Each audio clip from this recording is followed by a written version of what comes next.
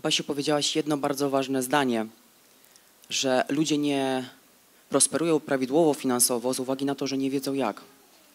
E, I ja wam właśnie chcę powiedzieć, jak to zrobić.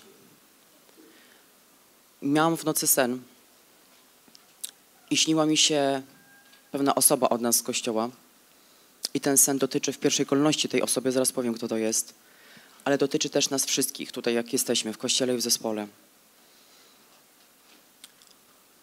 Sławku, ty mi się śniłeś w nocy.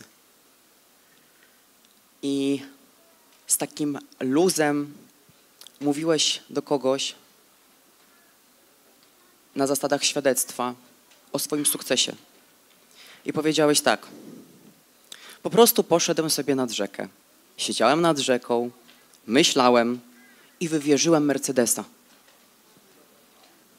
Nie wiem, czy chcesz mieć Mercedesa, czy nie, ale chcę Wam powiedzieć tutaj coś na temat zasady, i to jest zasada dla nas. Chcesz mieć sukces finansowy, rozpoczyna się od zmiany myślenia.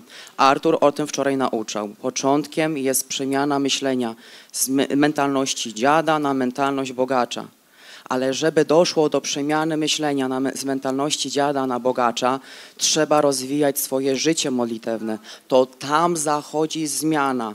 Aby zatem być człowiekiem, który jest bogaty i prosperuje finansowo, trzeba rozpocząć rozbudowę swojego życia modlitewnego, bo tam w komorze będzie zachodziła przemiana Twojej głowy, przemiana Twojego myślenia, będziesz patrzył w kategoriach bożych na kwestie finansów i na kwestie swojego rozwoju zawodowego i to tam w komorze będziesz odbierał wszystkie niezbędne objawienia i strategie Boże na dany czas po to, abyś właściwie prosperował finansowo.